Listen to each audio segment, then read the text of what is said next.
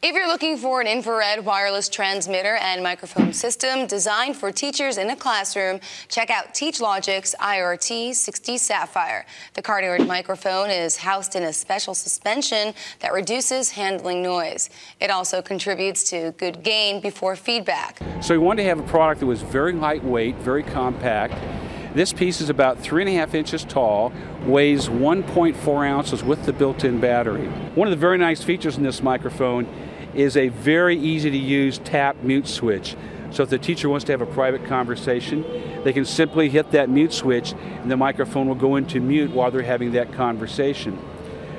Uh, we also have a built-in uh, jack on the side that will accommodate either an iPod or any external microphone, such as a head-worn microphone, lapel microphone, and such. This system can be used with any of the existing TeachLogic infrared systems that are currently on the market.